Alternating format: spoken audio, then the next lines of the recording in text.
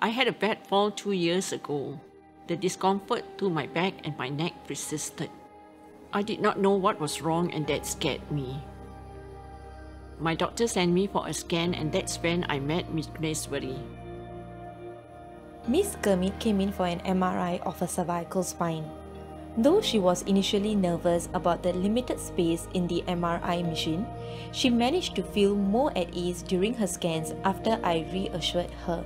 During the MRI, we adjust the settings so that the diagnostic images are clear. Following a discussion with the radiologist, we concluded that she had cervical spondylosis, which occurs as a result of aging.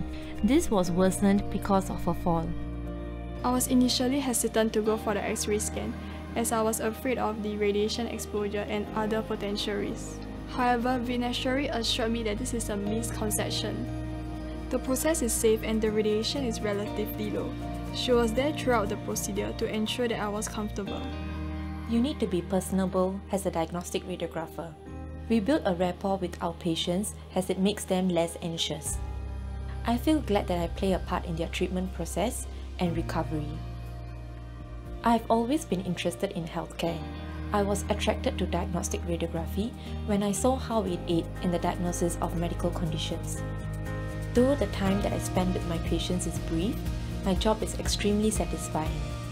Thanks to Vicneswari, I was able to seek early treatment, preventing an otherwise escalating problem. I am grateful that she helped to discover my condition.